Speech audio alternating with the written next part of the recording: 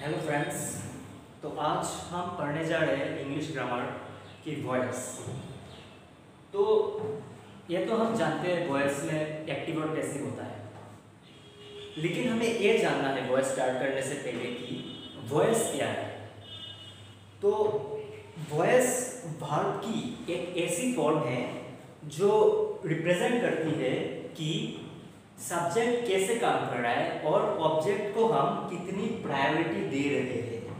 ये वॉइस का मेन चीज़ सब्जेक्ट कैसे काम कर रहा है? सब्जेक्ट यानी कि डूअर जो हम बंगाली में बोलते हैं ना, जो करता, जो बंगाली में हम बोलते हैं तो वो कैसे काम कर रहा है और ऑब्जेक्ट को हम कितनी प्रायोरिटी दे रहे हैं।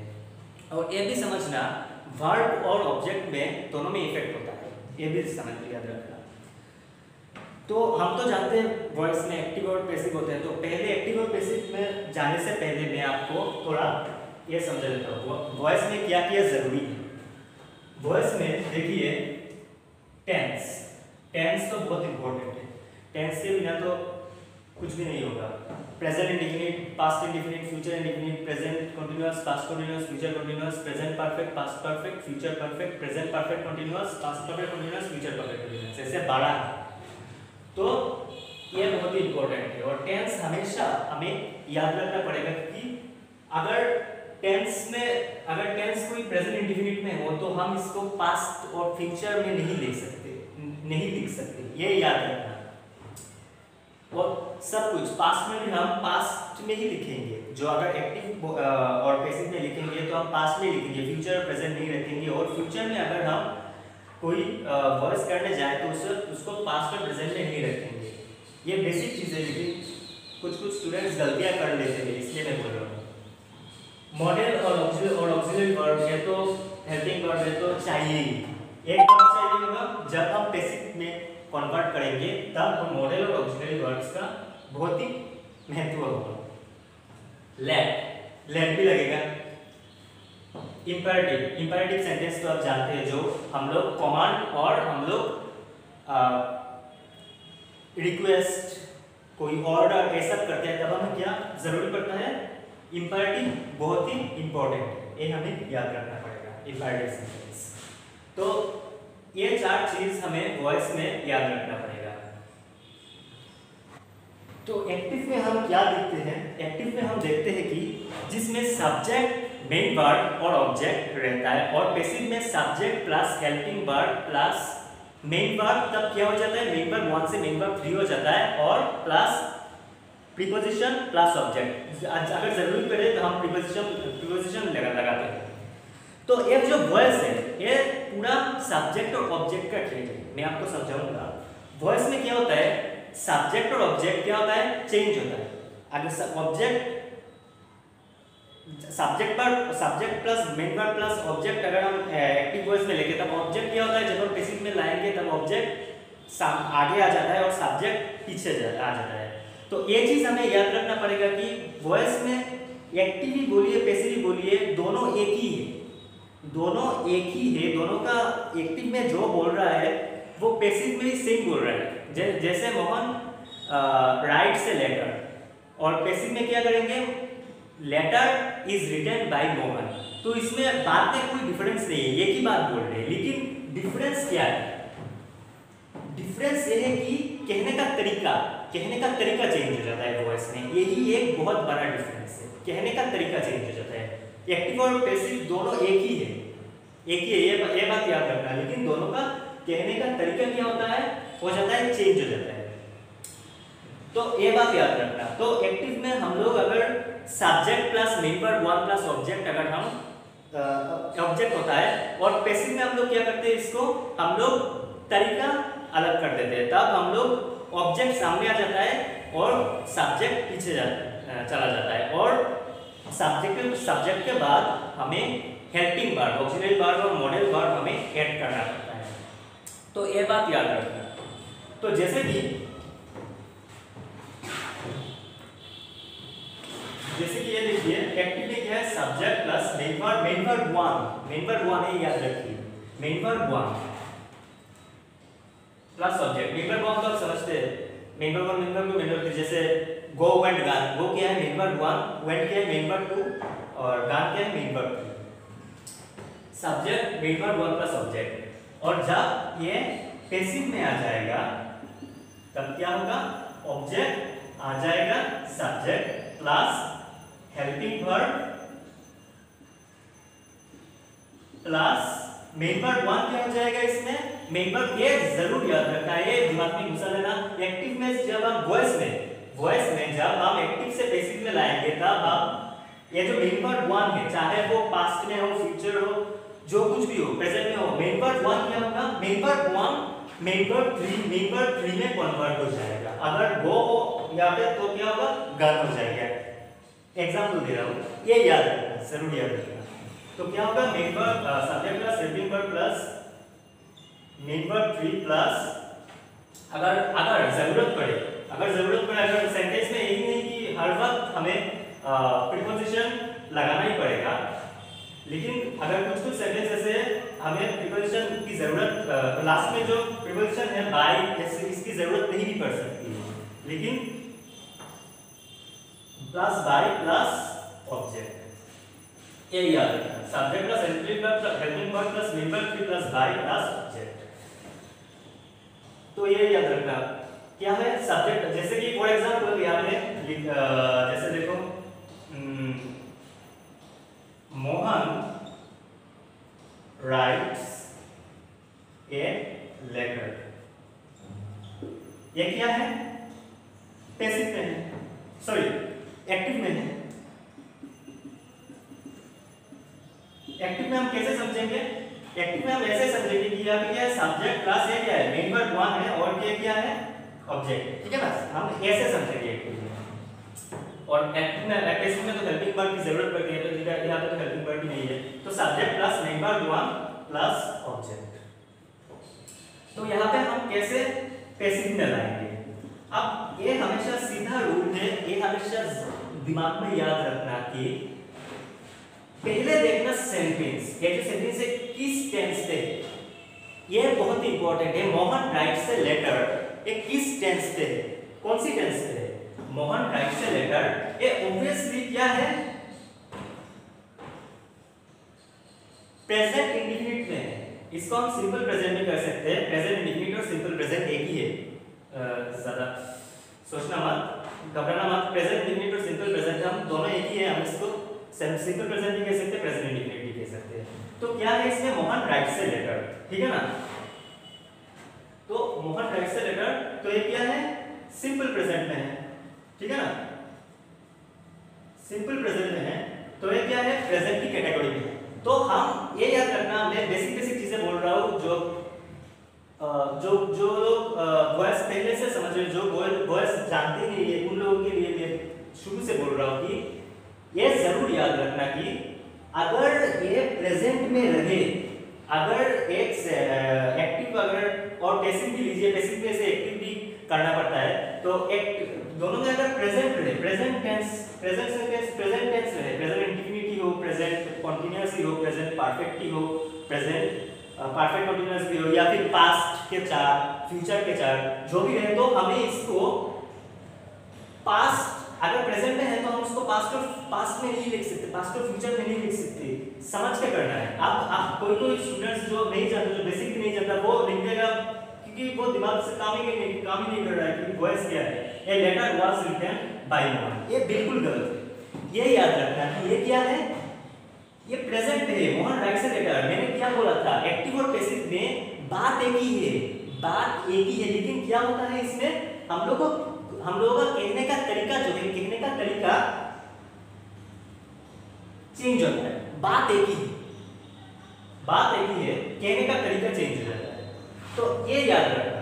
तो कहने का तरीका अगर चेंज हो तो इसका मतलब ये नहीं कि वो प्रेजेंट का पास में मतलब ऐसे जब बात बोलते हैं तो तब हम ऐसे नहीं कि जो प्रेजेंट है अगर एक्टिव वॉइस एक्टिव और पैसिव में कुछ कहे किसी को तो हम ऐसा नहीं कि हम उसको पास्ट में जो बात प्रेजेंट में हम एक्टिव में कहेंगे, वो बात हम पैसिव पैसिव में नहीं कह सकते पास्ट सेंटेंस को लेके।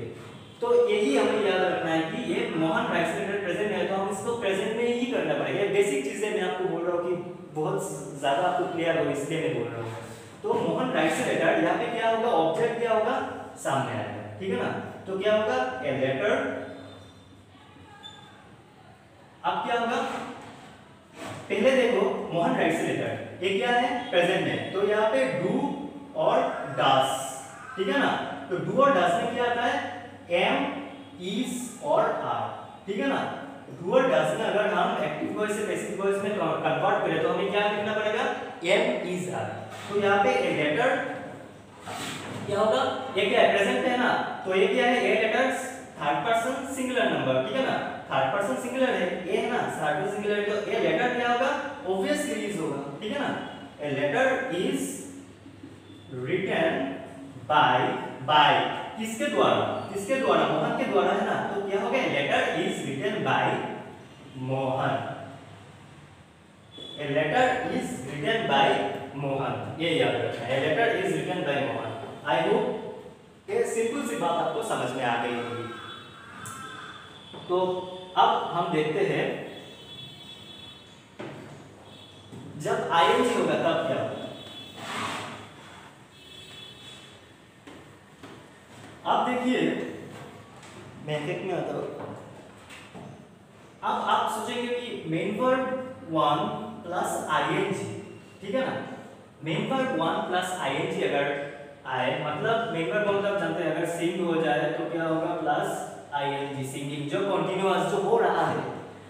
जो हो रहा है, अभी भी हो रहा है, हो रहा है। ठीक है ना? मैं अब क्या कर रहा हूँ? मैं आपको पढ़ा रहा हूँ। तो मैं क्या कर रहा हूँ? ये कंटिन्यूअस मैं आपको पढ़ा रहा हूँ, पढ़ा रहा हूँ। अभी हो रहा है। ठीक है ना? इसको बोलते क्या है? कंटिन्यूअस ये तो हमको पता है।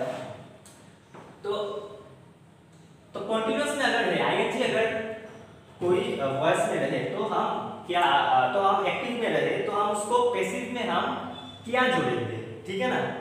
तो ये बात याद रखना, कोई भी वॉइस में, कोई भी अगर आईएनजी हो तो हमें बी ऑक्सिलरी वर्ब है बी वर्ब मिलेगा हमें लगाना ही पड़ेगा। ये याद रखना B E I N G be main one plus I N G अगर रहे किसी सेंटेंस पे प्रेजेंट ही हो पास्ट कंटीन्यूअस ही तो हमें बीइंग हमें लगाना ही पड़ेगा। ये बात दिमाग में घुसा के रखना। तो चलिए एक सेंटेंस हम करते हैं बीइंग के द्वारा।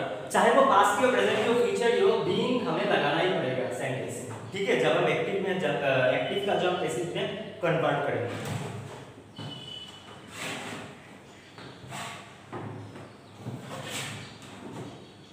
जैसे कि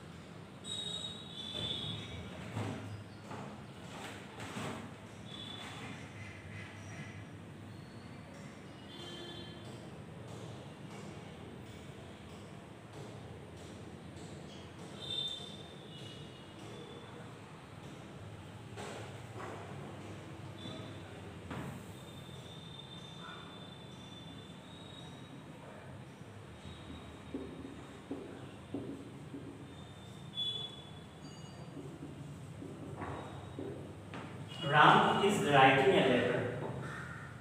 Ram is writing a letter. तो देखिए यहाँ पे क्या है? आईएनजी है ठीक है? और इस का मतलब क्या है? प्रेजेंट कंटीन्यूअस ये तो हमें पता है। Ram is writing a letter present continuous तो अभी क्या है? सब्जेक्ट वर्ब और ऑब्जेक्ट ठीक है? तो हमें अब क्या है? यहाँ पे क्या है? हेल्पिंग वर्ब भी ठीक है ना? Ram is writing a letter तो हेल्पिंग वर्ब का तो पे पड़ेगा अगर वर्ब वन आईएनजी है तो तो हमें तो इज़ एम आर यहाँ पे थर्ड पर्सन सिंगुलर नंबर है तो, तो हमें इस तो लगाना पड़ेगा तो अब देखिए इसको हम पैसिव में कैसे लेंगे तो हम जब इस सेंटेंस को पैसिव में लाएँगे तब क्या होगा? Ram is writing letter object जो है आ जाएगा ए लेटर इस इस तो रहेगा ये लेटर है थर्ड पर्सन सिंगुलर है ठीक है ना? थर्ड पर्सन सिंगुलर है तो ये लेटर तो रहेगा इस आप क्या लगाएँगे? Being b a n g a letter is being written. मैंने क्या बोला था? मेंबर वन क्या होगा? मेंबर वन मेंबर वन यहाँ पे क्या है? राइट यहाँ पे राइट है ना? तो राइट क्या है? यहाँ पे मेंबर वन है ना? तो मेंबर वन को अब क्या करेंगे इसके बाद? हम मैंने बोला था एक्टिव एक्टिव में एक्टिव से हम पैसिव में अगर कन्वर्ट करें तो मेंबर वन क्या होगा? मेंबर थ्री पे जाएगा। ठीक है ना? मेंबर वन क्या होगा? मेंबर थ्री पे जाएगा। यही याद रखना। a letter is being written by Ram ठीक है? किसके द्वारा? राम के द्वारा. Letter is being written by Ram तो आई होप आपको ये समझ में आ, आ गया होगा कि आईएनजी अगर रहे, बहुत सारे सेंटेंस में आपको बाद में पढ़ाऊँगा तब आपको और अच्छी तरह से समझ में आएगा। तो आईएनजी क्या है? आईएनजी अगर रहे तो हमें क्या लगाना पड़ेगा? बीइंग लगाना पड़ेगा वॉइस ठीक है? अगर एक्टिव से पैसिव में कन्वर्ट करें। आई होप इतना आपको समझ गया, समझ में आ गया होगा।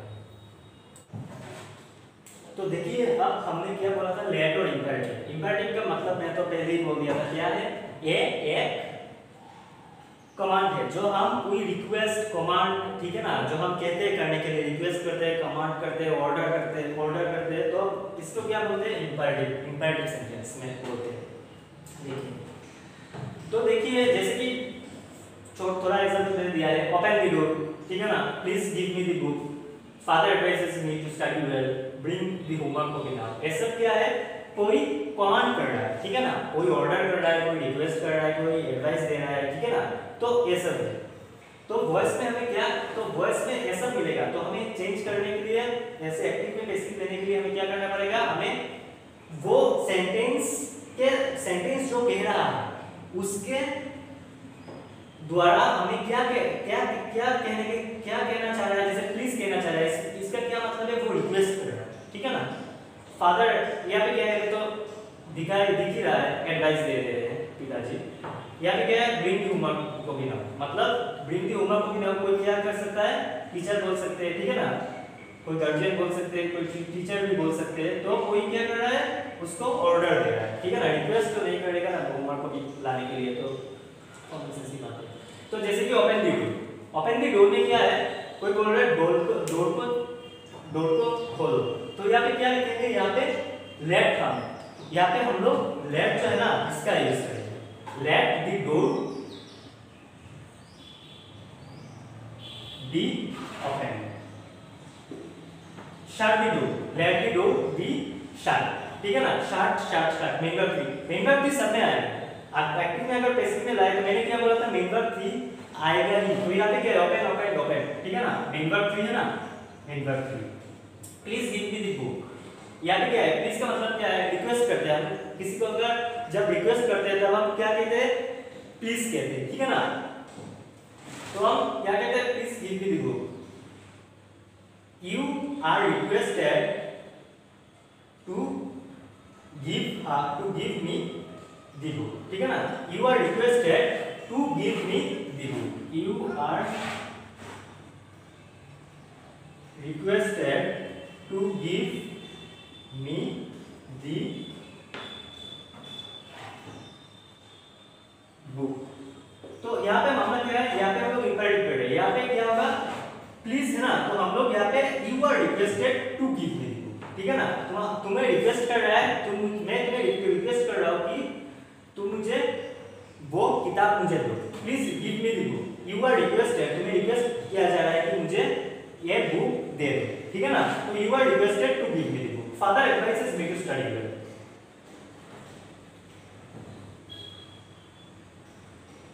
father advises me to study well object क्या है यहाँ पे? मी है। तो क्या होगा यहाँ पे? आई आई क्या क्या होगा? Am advise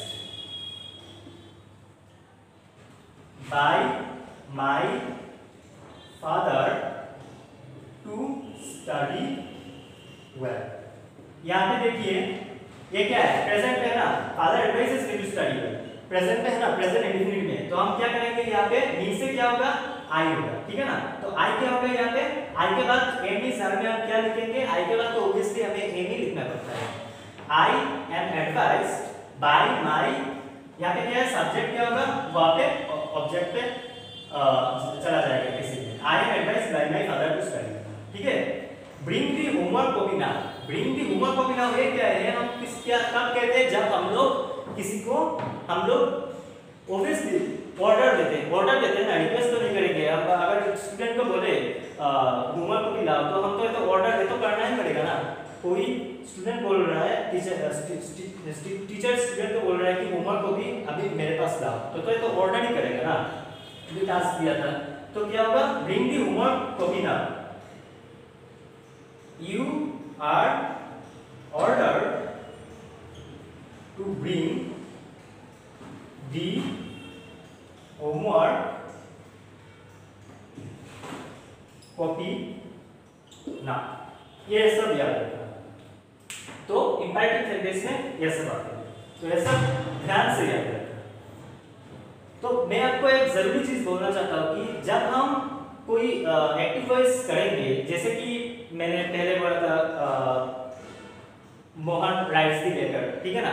तब हम ऐसे नहीं लिखेंगे कि प्रेजेंट में हम लोग पास्ट में पास्ट में इसको नहीं लिखेंगे, समझ के करना है, सब कुछ समझ के करना है। प्रेजेंट इंडिफिनिट में है मतलब हमें इसको प्रेजेंट नहीं रखना रखना पड़ेगा क्योंकि बात एक ही है एक्टिव और पैसिव बात एक ही है, कहने का तरीका है, यही मैं कहना चाहता हूँ। तो तो चलिए अब हम थोड़ी एग्जांपल्स देख लेते हैं। एग्जांपल्स में बहुत ही क्लियर समझ में आएगा ताकि ऑनलाइन क्लास इसलिए एग्जांपल्स अगर हम करें तो उस पर हम लोग क्लियरली समझेंगे। आप लोगों की आप लोग भी ये समझेंगे मुझे विश्वास है क्लियरली तो देखिए यहाँ पे क्या है? The tiger killed the man the tiger killed the man तो यहाँ पे हम लोग देखते हम लोग क्या पता लग, क्या क्या पता लगा सकते हैं क्या है? एक्टिव वॉइस में।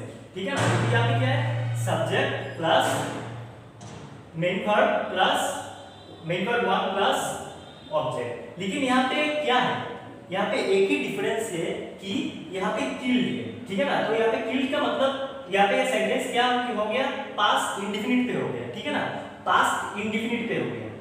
तो हमें क्या, हम जब इसको पैसिव में लाएँगे, तब हम क्या करेंगे? इसको पास्ट में ही रखेंगे। इसको तो हम और कुछ चेंज नहीं करेंगे ना। बेसिक से आपको बोल रहा हूँ। आप लोग समझिए।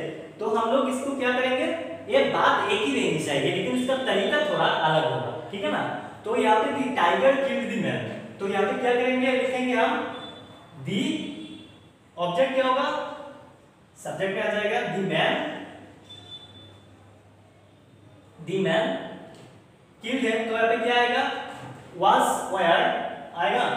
यहाँ पे वाज स्क्वायर आएगा. तो यहाँ पे दी मैन एक कोई बोल रहा है तो the man was killed M N M N man है ना? तो यहाँ पे एक ही मैन है, एक ही आदमी दी मैन क्या होगा? पास्ट है तो यहाँ पे auxiliary helping verb was the man was kill का किल तो पास्ट टेंस में इसका मेन वर्ब थ्री क्या होगा?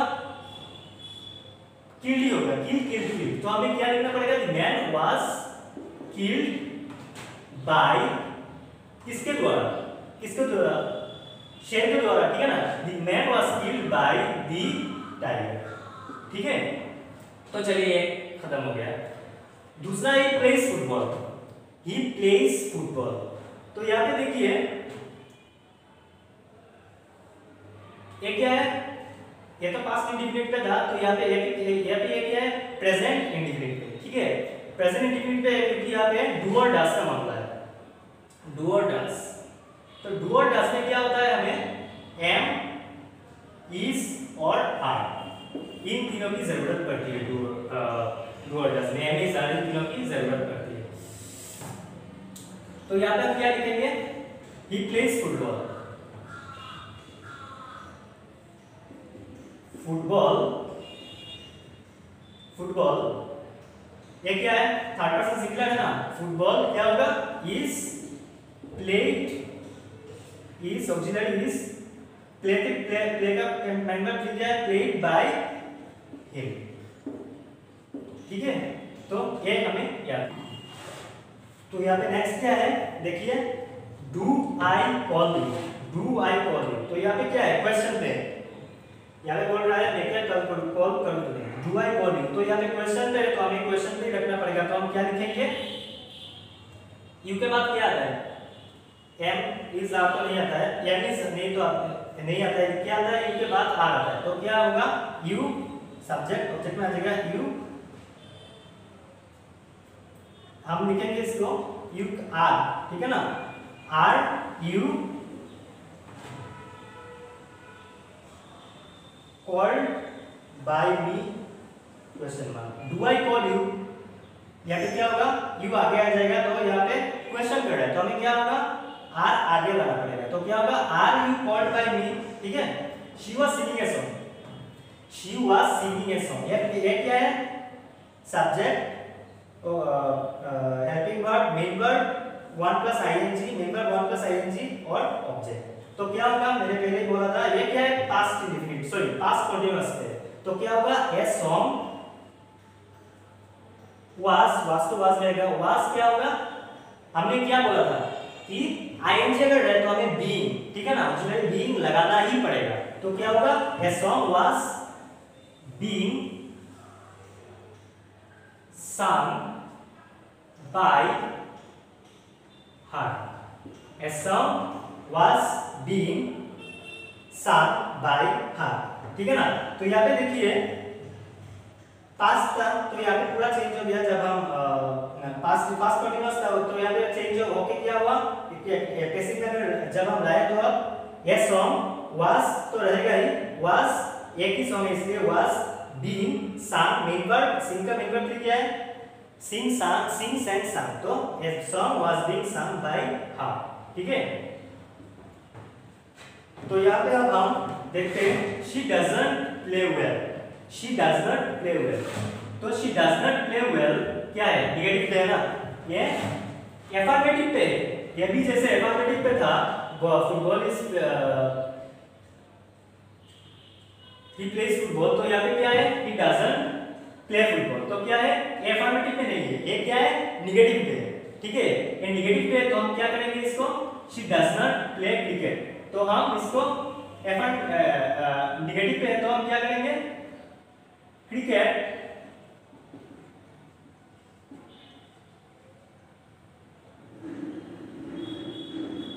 क्रिकेट क्या है थर्ड पर्सन सिंगुलर तो क्रिकेट का बात क्या होगा? Cricket is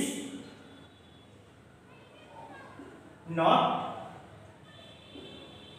played by her तो क्या होगा?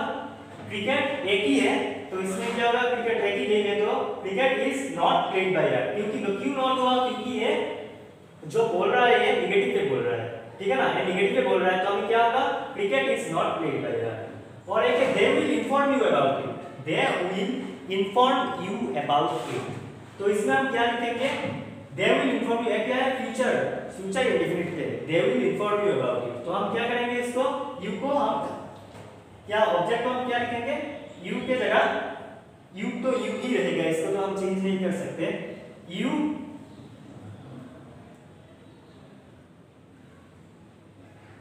विल तब उसको उससे क्या होगा? बी बी बी हम लगाएँगे।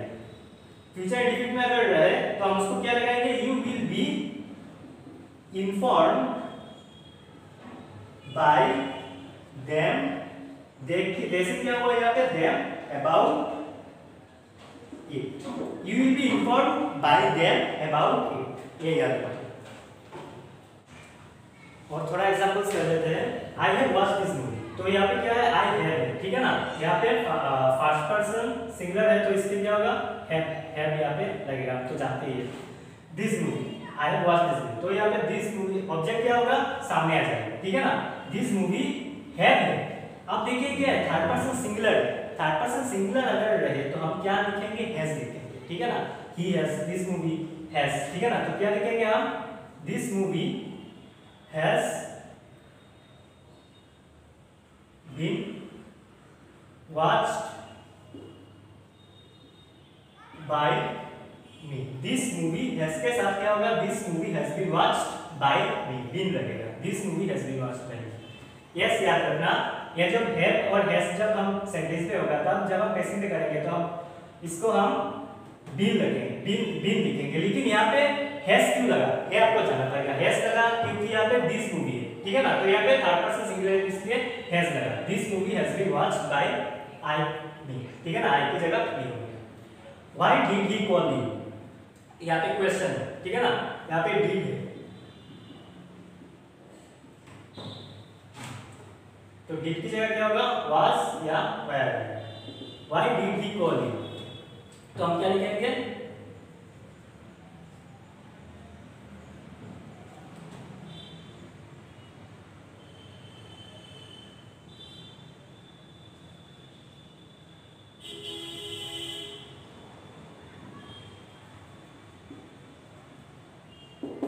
Why did he call you why you were called by him why we were called by him वरना इसको हम ये भी लिख सकते हैं why why why are you called by him ऐसे भी लिख सकते हैं तो यहाँ पे why why are you called him लिखेंगे तो हम क्या होगा इसके हम did है ना तो why why you you इसलिए हम हमें हमने why are है ठीक है ना तो why why are you called by him ये पास पे है डी डे तो हम डी पे क्या लिखेंगे? वाज और वेयर वेयर कब होता है इनके बाद हमको यू जब हम सेंटेंस लिखते तब इनके साथ हमें वेयर लिखना पड़ता है। व्हाई यू वाज नहीं लिख सकते?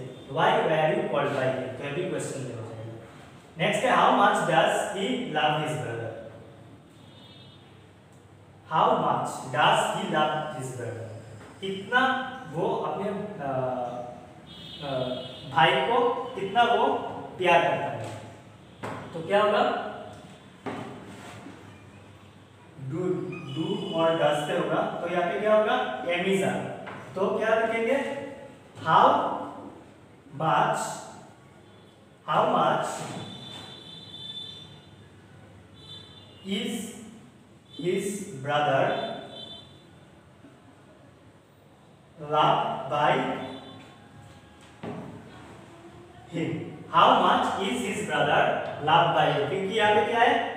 His brother. यहाँ पे एक ही भाई को बोल रहे हैं। तो अब हम डू और डज इसलिए हम लोग ई से मार ई से मारने क्या क्या है बैठेगा? यहाँ पे ऑब्वियसली बात है सी बैठेगा। ठीक है ना? थर्ड पर्सन है। ठीक है ना? और यहाँ पे क्या है? ब्रदर एक ही एक ही भाई बोल रहे तो क्या होगा? How much is his brother loved by him question mark ए मत बोलना क्वेश्चन मार्क लगाने का मत बोलना Rajni will have met Rashmi by the Rajni subject Rashmi object ठीक है ना? तो यहाँ पे एक क्या है फ्यूचर ठीक है ना? फ्यूचर परफेक्ट है Rajni will have met Rashmi by the future perfect है तो हम लोग क्या करेंगे उसको?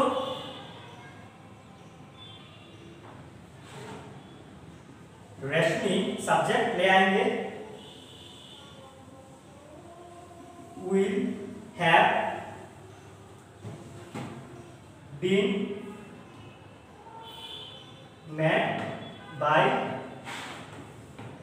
Rajni by the evening Rashmi will have been met by Rajni by the evening यहाँ पे हमने क्या लगाया? बीन लगाया। ठीक है? यहाँ पे हमने बीन लगाया। Rajni Rashmi will have been met by Rajni by the ठीक है? तो हमने यहाँ पे एक बात याद रखिएगा। हैज़ और हैव अगर हम लगाए तो उस पे हम लोगों को बीन लगाना ही पड़ता है। लगाना पड़ेगा जब हम कैसे में तो Rashmi will have been met by Rajni by the मतलब इवनिंग के टाइम पर रजनी रश्मि से मुलाकात कर चुकी होगी, कर चुकी होगी, ठीक है? फ्यूचर परफेक्ट तो यहाँ पे हमने रश्मि will have been met by Rashmi the रश्मि रजनी के साथ वो इवनिंग पे मुलाकात कर चुकी होगी, ठीक है? I did not do it trust me I did not do it trust me तो यहाँ पे क्या है? डिड नॉट है, ठीक है? निगेटिव पे। पास्ट निगेटिव पे। तो हम क्या लिखेंगे इसको वास और वेयर पे होगा, ठीक है? वास और वेयर पे लिखेंगे। तो हम क्या लिखेंगे? इट एक ही इट वाज नॉट डन। क्या होगा? मेन वर्ब थ्री पे आएगा ऑब्वियसली मेन वर्ब थ्री पे आएगा। मैंने मैंने तो क्या बोला? It was not done by me comma trust me आपको समझ में आ गया होगा इतना तक, ठीक है? तो यहाँ पे हम लोग लास्ट कर लेते हैं। ये बहुत ही कुछ कुछ स्टूडेंट्स को है, बहुत ही डिफ़िकल्ट लगता है कैसे हम लोग इसको पैसिव में चेंज करें। लेकिन इतना कुछ नहीं है, अगर समझ लिए तो कर भी सकते हैं, ठीक है? तो यहाँ पे क्या है? फ्यूचर ठीक है ना? पहले देखिए ध्यान से देखिए। I have been asking you since morning ING ING asking तो यहाँ पे क्या होगा? बीइंग तो हमें लगाना ही पड़ेगा। सेंटेंस चेंज करेंगे बीइंग हमें लगाना ही पड़ेगा। ठीक है? मैं तुम्हें आई बीन आस्किंग यू मैं तुम्हें पूछ रहा हूँ सुबह से। ठीक है? तो अब क्या लिखेंगे यहाँ पे? यू आ जाएगा ऑब्जेक्ट सब्जेक्ट पे यू हैव बीन बीइंग ठीक है? रहेगा सब, ठीक रहेगा? बीइंग उसके बाद ask ask ask main verb क्या है? आस्क तो क्या होगा you have been being asked by I से क्या होगा मी सिंस मॉर्निंग ठीक है? समझ में आया? यही होगा। उसके बाद ये क्या है? ये क्या था? फ्यूचर कंटीन्यूअस है। ठीक है? ये क्या है? He will be opening door at the moment he will be opening door at the moment ठीक है? मतलब क्या है? वो डोर ओपन करेगा इस मोमेंट पे ठीक है? तो इस वक्त वो डोर वो आपका ओपन कर लेगा he. Will be opening door at the moment तो क्या होगा इससे डोर विल बी आईएनजी है क्या होगा? Will be being open by him at the moment इस मोमेंट को वो, मैं वो डोर ओपन कर चुका हूँ। ठीक है? समझ में आया? तो next she had been reading the novel for months महीने तक वो नोवेल पढ़ रही है। ठीक है? She had been reading that novel for months महीने तक वो पढ़ रही है। She had been reading reading that novel for months तो इसमें क्या लिखेंगे हम लोग? ये क्या है? ये क्या है? पास्ट परफेक्ट कंटीन्यूअस पे ठीक है ना? ये पास्ट परफेक्ट कंटीन्यूअस पे तो हम लोग पास्ट परफेक्ट कंटीन्यूअस किसके पहले का था? क्या था? फ्यूचर परफेक्ट का था। ये क्या है? पास्ट परफेक्ट कंटीन्यूअस पे हैड बीन रीडिंग ठीक है? पास्ट परफेक्ट कंटीन्यूअस ठीक है? वो पढ़ रही थी। वो she had been reading the novel for months वो महीने तक वो वो नोवेल पढ़ रही थी। तो हम क्या लिखेंगे? That novel had been object subject में आ जाएगा had been being read read read read हम लोग का जो वोकल वर्ड से हम बोलते हैं तब रीड का रेड हो जाता है, ठीक है? तो क्या लिखेंगे that novel had been read had been being read by her she है, इसलिए हार हार यहाँ पे बैठेगा फॉर मंथ्स तो यहाँ पे लास्ट क्या है? He have been watching he will have been watching cartoon since morning when you reach there ठीक है? तुम जब वहाँ पे पहुंचोगे, तब वो कार्टून देख रहा होगा। ठीक है? देख रहा होगा। फ्यूचर परफेक्ट कंटीन्यूअस पे। ठीक है? विल है ना? फ्यूचर परफेक्ट कंटीन्यूअस पे। तो हम क्या करेंगे इसको? वाचिंग है। तो हम बीइंग में लाएँगे तो क्या क्या लिखेंगे? ऑब्जेक्ट क्या पे आएगा cartoon will have been being cartoon will have been been watched watch watch watch number 3 watched by him since morning when you reach when you reach ठीक है when you reach there when you reach there ठीक है when you reach there या तो मैंने गलती से ed लगा दिया था ये नहीं होगा यहाँ पे फ्यूचर है तो यहाँ पे पास में कोई भी लाइन यहाँ पे ऐड नहीं कर सकते ठीक है ये he will have been watching cartoon since morning when you reach there cartoon will have been being watched by him since morning when you reach there ठीक है तो यहाँ पे देखिए हमने यहाँ पे विल है यहाँ पे हमने विल क्यों नहीं लगाया? क्योंकि यहाँ पे ऑलरेडी विल है इसलिए हमने हम, हमने यहाँ पे विल नहीं लगाया ज़रूरत नहीं था ठीक है? तो दो बार हम लोग विल नहीं लगा सकते। जैसे कि you will have been watching cartoon since morning when you will reach तो यहाँ पे यू विल विल लगाने का कोई ज़रूरत नहीं है व्हाइल विल तो पहले से ही cartoon will have been been watched by him since morning when you reach there